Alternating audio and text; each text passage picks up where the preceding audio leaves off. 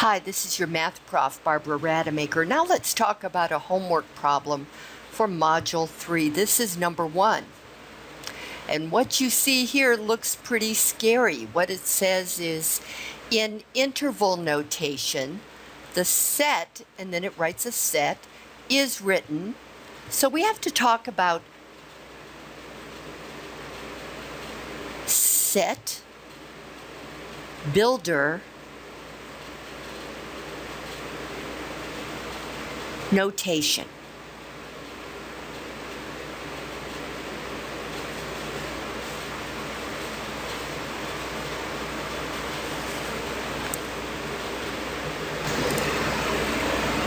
All right, what set builder notation is, is we're talking about a set of numbers. You can tell you're dealing with a set anytime you have what are called braces. Braces tell you you're dealing with a set. And what this says is all the numbers on the number line such that. Okay? Now we're going to stipulate, well, such that what? Such that x, a number I don't know, is greater than 0. In other words, you're talking about all the positive numbers, all the numbers that are greater than 0. If you were graphing this, you would graph a number line. Let's have 0 in the middle here and then one, two, three, four, you know, numbers like that. And, and the numbers just get bigger as you go out to the right. And so the uh, symbol for that is a sideways 8, which is infinity. Over here, you've got the negative numbers going off to the left, and our symbol for goes forever to the left is a negative sign and infinity, and what we call that, let me move it over a little, what we call that is negative infinity. Now, we're looking for all of the numbers greater than 0. Well, let's see. What's greater than 0? 1 is greater than 0. 2 is greater than 0. 3 is greater than 0. 4 is greater than 0. And as you keep going to the right, I don't know, 100 is greater than zero, 1,000 is greater than zero. The numbers keep getting bigger as you go out to the right. So that means all of these numbers, let me get another color. How about blue? All of these colors out here, all of these colors, all of these numbers going off to the right are in the interval where x is greater than zero. Now, notice that it doesn't say that x is greater than or equal to 0. So we're not saying that x equals the end point 0. So we're going to use a parenthesis. And that's how we would graph an open interval that goes off to the right forever and ever and ever. And how you would say this in interval notation is parenthesis, 0, the end point, comma, infinity, parenthesis.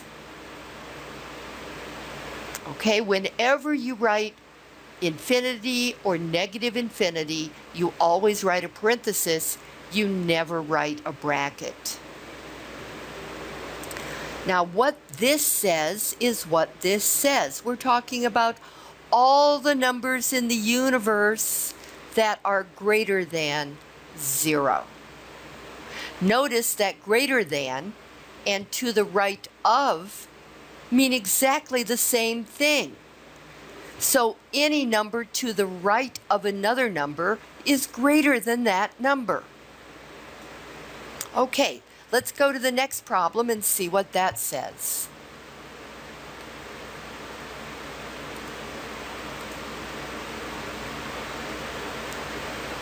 It says x is less than 2. I don't know. What numbers are less than 2? 1 is less than 2. 0 is less than 2. Negative 1 is less than 2. In in our number system, less than and left, oops, left of mean exactly the same thing. So here, if we were graphing, I would graph a number line.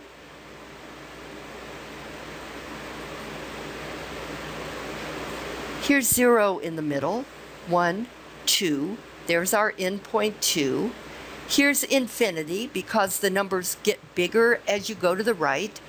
And here's negative infinity because the negative numbers go off to the left. Like that. And they both go in both directions forever.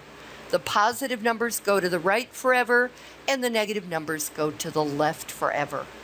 Okay, and now we're being asked, well, find all the numbers that are less than 2. Well, uh, 1 is less than 2. Any number to the left of 2 is less than 2. So my graph would actually be an arrow going off to the left forever. And since this is strictly less than, it doesn't say that x actually equals 2, but only that it's less than 2, I would put a parenthesis like that. Okay, well, remember interval notation looks just about like the graph. So on the right, for sure, I would have something that looked like this. But on the left, I don't have an end point.